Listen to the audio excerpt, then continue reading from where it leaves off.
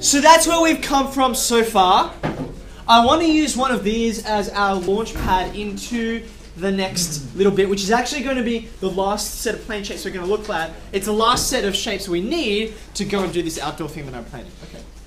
So, I want you to have a look at these shapes first. Don't call out the answer just yet. I want you to uh, think about the question I posed to you. Okay.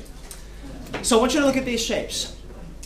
I want you to suppose that I tell you I've got a shape in my head, and the shape that I've got in mind has two pairs of equal sides. I said you guys are the worst at following instructions ever. Okay? So I'm going to ask you. Okay, I asked nice firstly. This time I'm not going to ask nicely. Shut up and wait. You don't listen when I ask politely. You get the kid gloves come off. Okay, so let me pedal back a little bit, right? I've got a shape in mind. You might want to jot this down. I have two pairs of equal sides. Okay, two pairs of equal sides, right?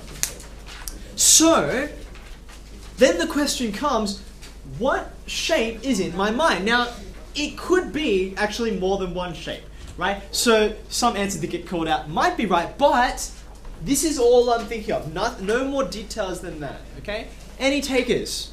Yep. Uh, could be a rectangle or triangle. Okay, it could be a rectangle. Let's think about this. How does it work? Two pairs of equal sides. Which sides are they? Top. Right? The, the top and bottom, they're equal. And then the left and right sides are equal. Tick. Okay?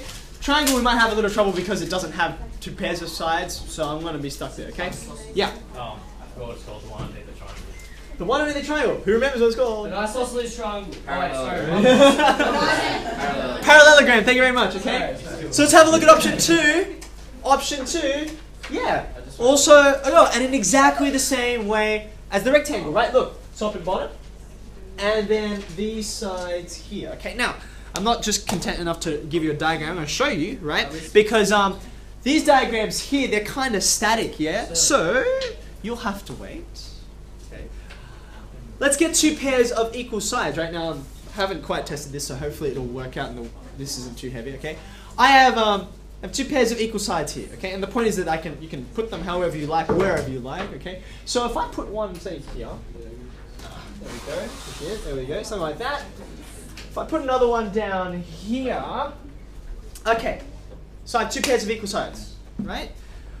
Now I have another pair of equal sides, but you'll notice I've colored them and you can probably see that they they are not the same length, right? So they're not equal to the original pair, but they're equal to each other. You content with that? Right, so I'll try and put this one on nice and firmly. If I put that one there, stay.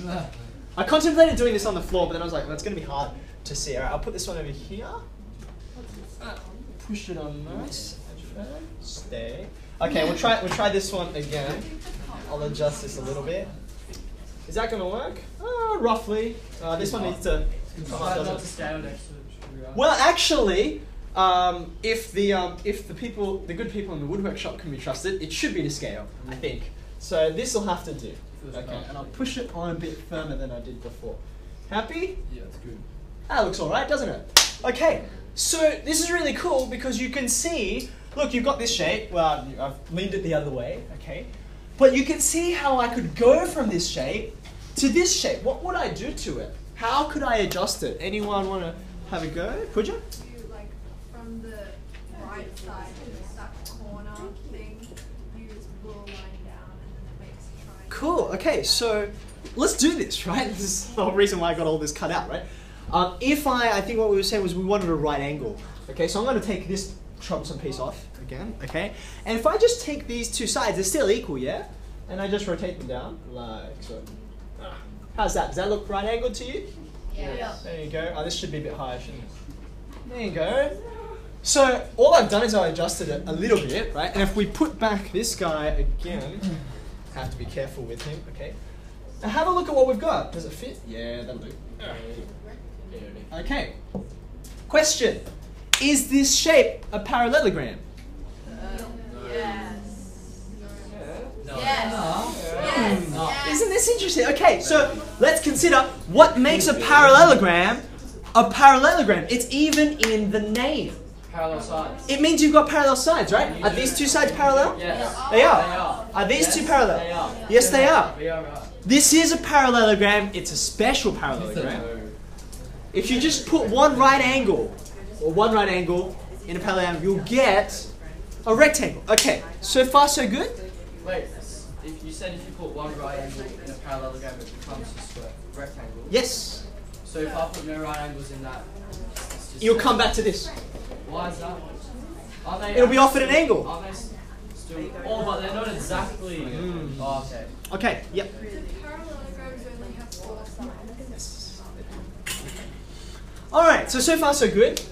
But come back to this, right? Two pairs of equal sides. So we've settled on the fact that basically we're looking at a, a parallelogram and it might be a rectangle, but the whole point is that rectangles are just special parallelograms. Okay? There's another option. There's another option. This is what happens when your two pairs of equal sides are. Where are they in relation to each other? Well, this one is opposite to this one, right? Top and bottom. These two are opposite, left and right. I'll just I'll just wait till everyone's ready.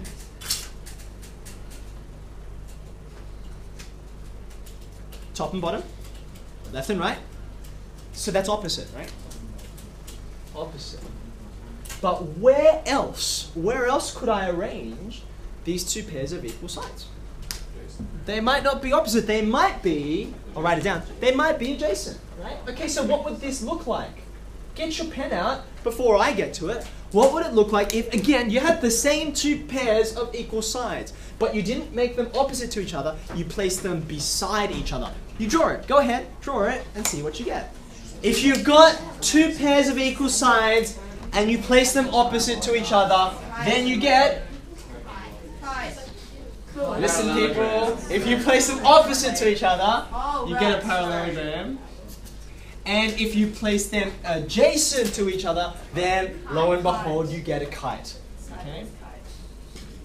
Okay. Now the reason why I put mine sideways is because I know that what I want to do next won't fit long ways. Okay. You remember? Oh no, it's okay.